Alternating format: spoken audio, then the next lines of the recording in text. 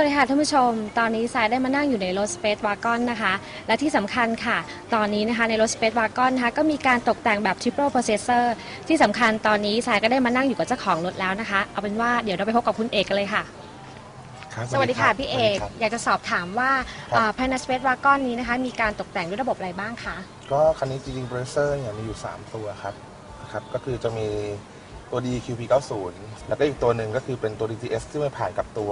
7850 ตัวบดเพื่อเล่น DVD นะครับ แล้วก็คันนี้มีแอมอยู่ 4 ตัวครับ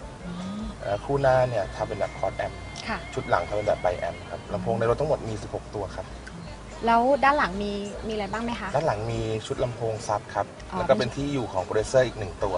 ซึ่งหนึ่งตัวก็คืออยู่บนหน้าแดชบอร์ดอ๋อค่ะนะครับ แล้วก็อีกหนึ่งตัวก็คืออยู่ในตรงนี้เลยเกตคอนโซลนี้นะครับ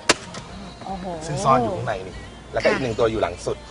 ครับก็ผม ก็คือตรงนี้ก็ยังสามารถใช้งานได้ปกใช้ติงานได้ปกติคอ๋รัอบค่ะ ครับ งั้นเดี๋ยวรบกวนให้พี่เอกพาเราไปชมด้านหได้ลังคกันรับนะคะ ครับผม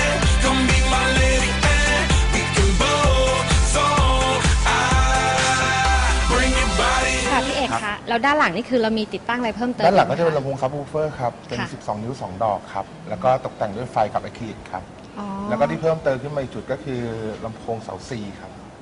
เพื่อเหมือนจะเป็น surround ข้างหลังครับผมก็คือตรงนี้ติดตั้งเพื่อให้ความรู้สึกอะไรบ้างคะเออเบสครับ ค่ะสำหรับวันนี้ก็ต้องครับขอขอบคุณพี่เอกได้ครับมากเลยนะคะ ที่ให้ข้อมูลเกี่ยวกับการครับติดตั้งเครื่องเสียงในวันนี้นะคะได้ครับสวัสดีค่ะ